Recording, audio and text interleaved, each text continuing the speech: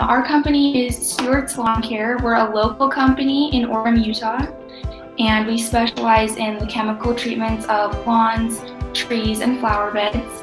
We also uh, do pest control services for people here. I'm the HR manager here. I'm also in charge of the quality assurance. With Vidi for the last several weeks, me and my former manager Erin have been working to create several automated dashboards um, for our company.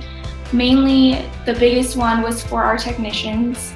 Um, we wanted to create some dashboards that would highlight their efficiency, the amount of chemical that they're putting down every day, um, and the amount of money that they're bringing in each day, and kind of track their progress and their efficiency and their productivity. That was one of the biggest uh, goals of this project was to save time. Calculation of the, the technician productivity numbers and hours um, is one of the biggest time uses that I have. And so we were really looking for a way to cut down on time spent doing that. Usually I would say it takes at least 15 ish hours. It, probably at least like two full days of work, so about 15, 16 hours. Now it probably only, I would say, takes probably two. Really impressed with the skills that I've seen from the team. Everybody's been very responsive.